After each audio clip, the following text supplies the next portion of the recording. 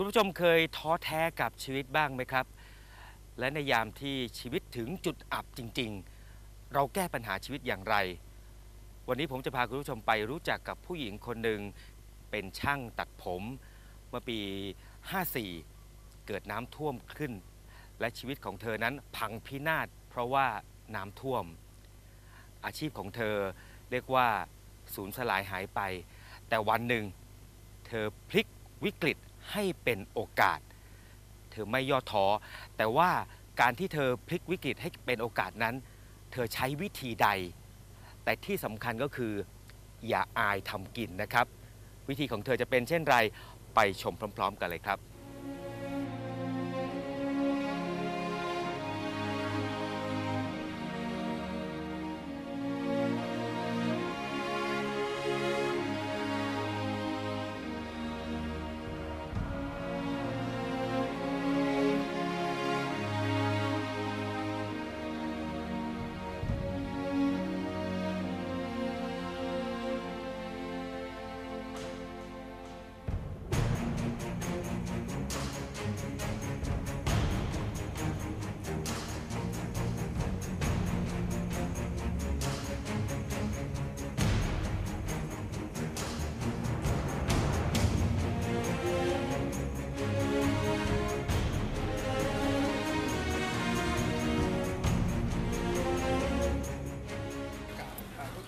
สวัสดีค่ะ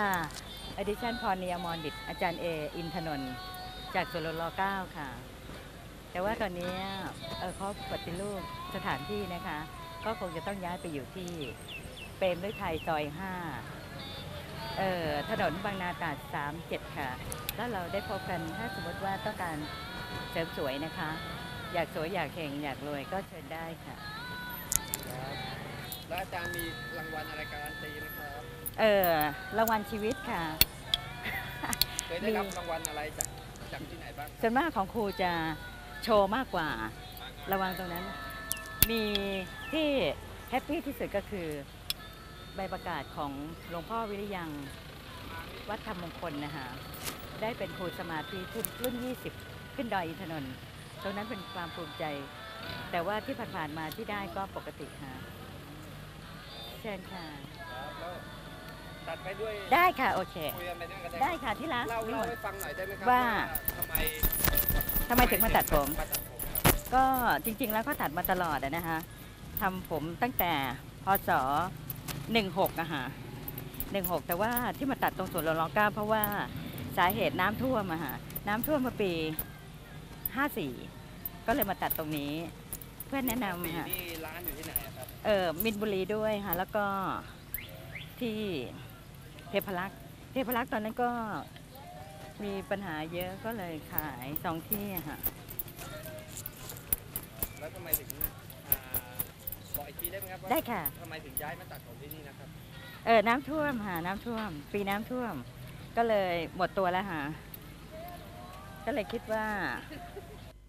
เดินมามาเจอเพื่อนรัก คุณเด๋อค่ะ ที่นี่ที่นี่ค่ะเขาออกกำลังกาย ก็เลยกอดเพื่อนบอกว่าหมดตัวแล้วเขาก็เลยบอกว่า เอ้ยมาตัดผมที่นี่ไหมเดี๋ยวจะหาลูกค้าให้ แล้วเขาก็ขึ้นรถเลยค่ะ ขึ้นรถ ประเดิมให้หัวแรกเลย1,000บาทค่ะสำหรับคุณเด๋อนะคะคุณเดินนี่คือเป็นเพื่อนกันใช่ไหมเป็นเพื่อนกันค่ะตั้งแต่สมัยเป็นนักเรียนนะคะครับผมก็แนะนำให้ มาตัดค่ะแนะนำบอกว่าเอาเลยเพื่อนเดี๋ยวจะหาลูกค้าให้ เออตอนแรกๆก็ไม่มีใครกล้าตัดค่ะเขาเรียกว่าติงตอง แต่ว่าพอตัดไปแล้ว ก็มีคนในสวนเขาแซวไอ้ติงตองแต่มันตัดผมสวยว่ะ ก็เลยโอเคค่ะแล้วด้านหลังเป็นที่อยู่ด้านหลังที่อยู่ด้านหลัง คุณแม่ค่ะคุณแม่เนี่ยเป็นกำลังใจ เคยคิดจะฆ่าตัวตายนะคะแต่ว่าพอดูเห็นแม่แล้วก็ ถ้าเราตายไปใครจะเลี้ยงแม่ใครจะดูแลก็เลยไม่ยอมตายสู้ต่อค่ะ เพราะว่าไม่ต้องรีบ เดี๋ยวถึงเวลามันก็ตายเอง ก็เลยไม่ฆ่าตัวตายค่ะเปลี่ยน เปลี่ยนเป็นสู้เออจะได้ให้ลูกค้าสวยๆค่ะแล้วตัดผมที่นี่วันไหนบ้างเออเสาร์อาทิตย์เสาร์อาทิตย์ค่ะเสาร์อาทิตย์แต่ว่าตอนเนี้ยเขาไม่ให้เขาปฏิรูปที่อะค่ะ รูก็เลยต้องย้ายไปที่ถนนบางนาตราด เป็นวิทยซอยห้าถนนบางตาบางนาตราดที่สามเจ็ดค่ะ แต่ว่าเสาร์อาทิตย์ก็ยังแอบมา แต่ดีเดิมเพราะว่าลูกค้าเยอะค่ะที่ตั้งร้านตรงนี้ค่ะ เออ ก็ยังไม่ได้ไปเลยค่ะ เพิ่งจะกำลังจะไป ว่ากำลังจะไปค่ะหมายถึงว่าร้านที่ตั้งอยู่เนี่ยครับต้องค่ะต้องต้องจองคิวไหมครับเออยังยังเลยค่ะเพราะว่ามันเป็นร้านเล็กๆกันนะคะที่พักพวกช่วยกันครับคือไม่ก็เสียค่าที่ไม่เสียอะไรใช่ไหมครับอ่าแล้วเขาก็ว่าจะเปิดตอนปีใหม่เนี่ยค่ะวันที่ 16มกราค่ะเออที่ถนนบางนาตราดค่ะ ตรงอ่าเออจ้าจ้าดีแดมแดม แล้วลูกค้าที่มาตัดนี่ต้องจองคิวไหมครับ ก็จองค่ะพอจองหมายถึงว่าเดี๋ยวฉันมานะ ไปทานข้าวก่อน ไปออกกำลังกายก่อนแล้วเดี๋ยวก็มาตัด ตัดแล้วก็สวยเฮงด้วยค่ะ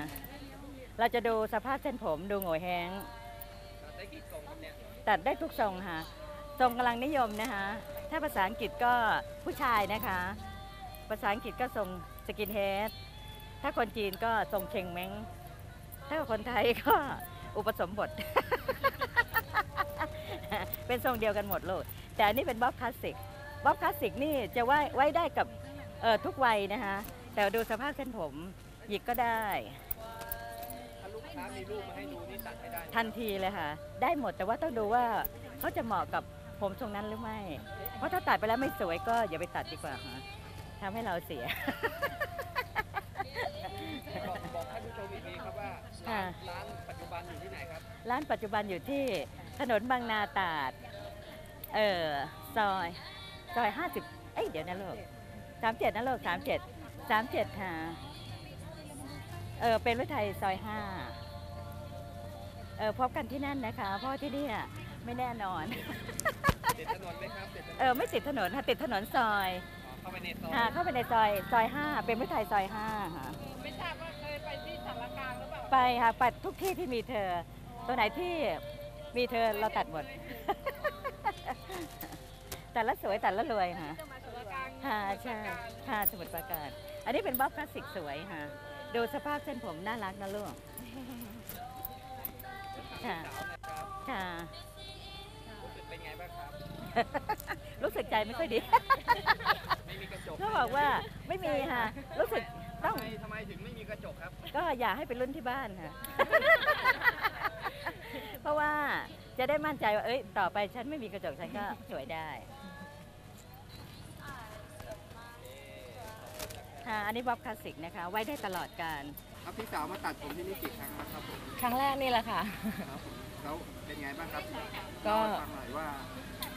ตัดโอเคไหมครับช่างก็ดูจากช่างแล้วเนี่ยก็คือดูการหยิบอุปกรณ์แล้วเนี่ยหน้าทางท่าทางจะเก่งนะคะท่าทางจะคล่องนะคะ ก็เลย ก็เหมือนกับลองดูก่อนนะนะคะ แต่ยังไม่เห็นยังไม่เห็นทรงผมตัวเอง เดี๋ยวกลับไปบ้านจะเซอร์ไพรส์นะครับจะเซอร์ไพรส์มีสองรุ่นค่ะว่าจะเป็นยังไง แล้วทำไมถึงเลือกมาตัดที่เนี่ยครับอ๋อเมื่อกี้มายืนรอแฟนนะคะ แฟนเขาไปเดินอยู่เที่ยวอยู่ ก็เลยมายืนรอ แต่พอดีช่างเขาคงจะเห็นว่ายังไม่มีลูกค้าเลยเรียกมาลองดูก่อนนะคะเขาบอกเขาตัดได้ตัดแล้วจะดูน่ารักก็เลยลองดูอะค่ะ คือตั้งใจมาออกกำลังกายหรือมาตัดผมครับมาออกกำลังกายค่ะค่ะ แล้วราคาเป็นที่พอใจไหมครับ ก็แล้วแต่เรานะคะว่าเราจะให้เท่าไหร่ ก็มอบให้กับคุณยายนะคะ เป็นคุณแม่ของคุณช่างของช่างนะคะ มาตัดผมที่ทำไมถึงเลือกมาตัดผมที่เนี่ยครับก็เห็นว่าอาจารย์เขาตัดเก่งอะค่ะเขาเคยตัดอยู่แล้วก็เห็นว่าเขาตัดเก่ง แล้วก็ดูว่าเขาตัดดีอะค่ะ ตั้งใจวันเนี้ยมาออกกำลังกายหรือมาใช่ตัดผมครับเออ มาออกกำลังกายค่ะ แล้วก็มาตัดผมด้วย ครับผมแล้วมาใช้บริการที่นี่กี่ครั้งแล้วครับ เออ หลายครั้งแล้วเหมือนกันค่ะ